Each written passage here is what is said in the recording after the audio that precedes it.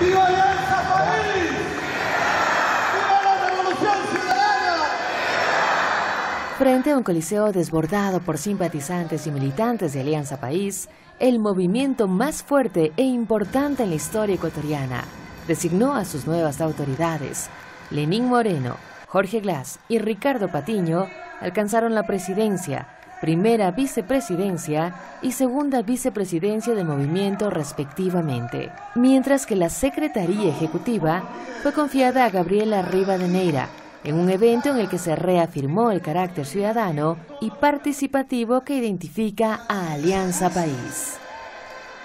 Pavel Muñoz, presidente del Instituto de Pensamiento Político. Ustedes acuérdense con la ley de herencia y plusvalía cómo se envalentonó esa derecha rancia del Ecuador y en todas esas circunstancias, con los medios de comunicación absolutamente en contra, que hayamos ganado es una victoria absolutamente importante. Hoy más que nunca nos votaron aquellos por los que trabajamos y eso hay que tenerlo muy presente. Los sectores muy populares votaron por nosotros, los pelucones de la puntilla, evidentemente ahí perdimos 9 a 1, pero a nosotros el voto que más nos interesa es el que hoy votó por nosotros y mañana con nuestro trabajo votará por nosotros.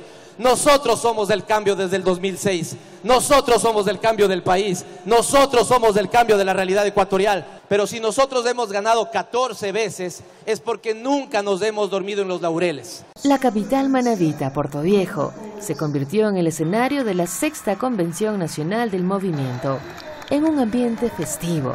Los militantes apoyaron la designación de sus nuevas autoridades. Presidente Rafael Correa. No hay ninguna división, tan solo hay malos perdedores. Pero no olvidemos la unidad del viejo país. Migración, tercerización, entreguismo, indignidad, ausencia de derechos.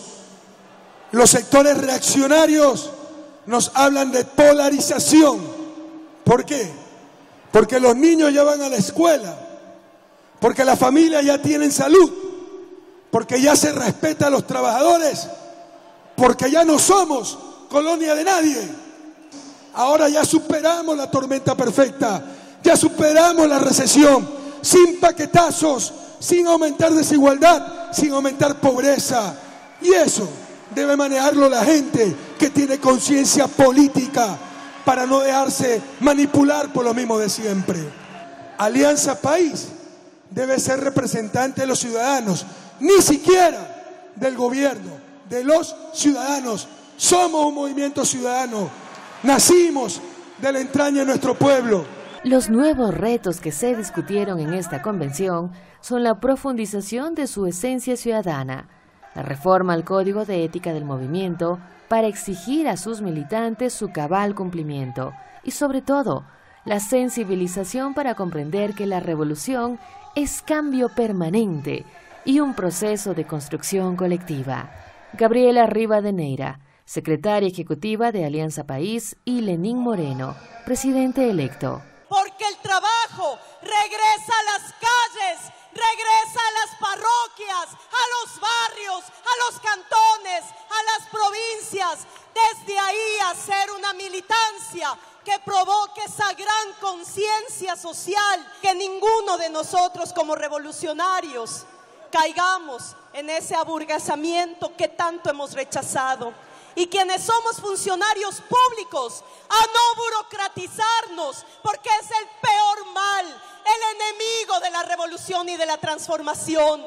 Nuestro proceso revolucionario debe reinventarse, aprender y aprender para mejor comprender y actuar. Debemos estar abiertos al cambio, a la innovación, a la autocrítica, pero siempre guiados por los mismos principios, la igualdad, la equidad, la justicia social, por los más pobres, por los más humildes, por los más ladeados, por los más olvidados de la patria.